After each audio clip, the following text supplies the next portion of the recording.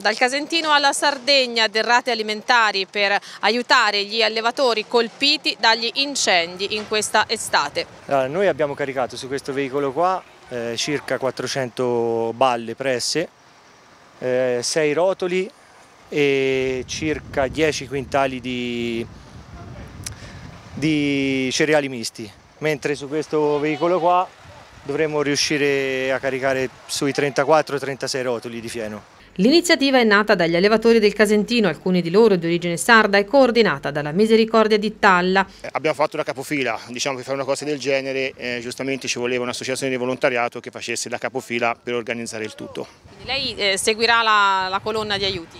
Sì, ormai come volontario mi sono offerto anch'io dare una mano anche in questa traversata diciamo, della solidarietà.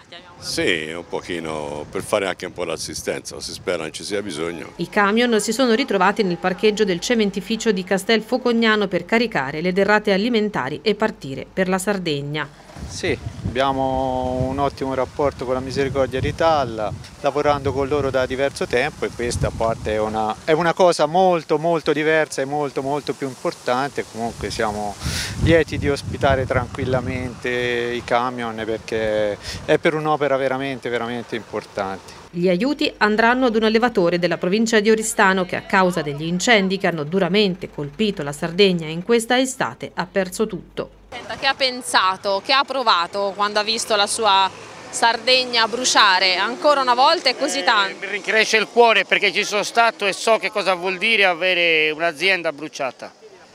Capito? Quindi questa gente qui è rimasta proprio distrutta e quindi mi è tanto dispiaciuto e quindi tocca proprio aiutarli. Io sarda di nascita e mio marito figlio di genitori sardi abbiamo contribuito a, a dare un aiuto comunque alla nostra gente, al nostro popolo e poi perché comunque fare del bene fa sempre bene, insomma.